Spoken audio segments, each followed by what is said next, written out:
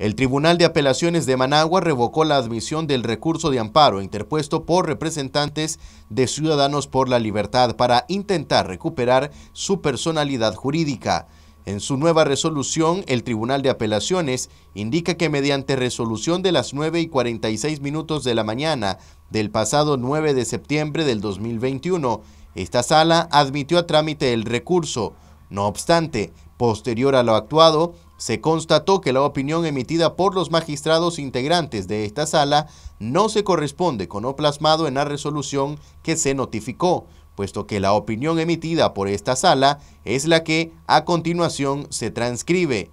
En los considerandos, el tribunal, después de reseñar los argumentos que expuso el Consejo Supremo Electoral en la resolución recurrida, concluye que, no existiendo violación a derechos constitucionales de la inexistente entidad recurrente a través de su actual supuesto representante legal, no debe admitirse a trámite el presente recurso de amparo, y así debe declararse.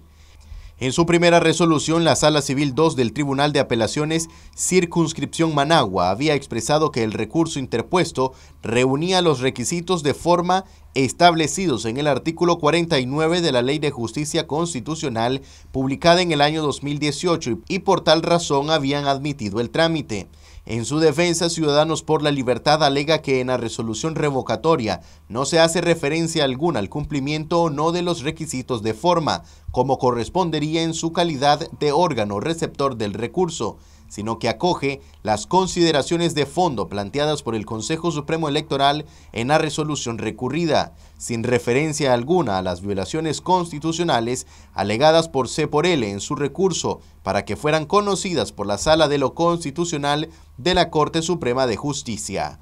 Marcos Medina, Noticias 12.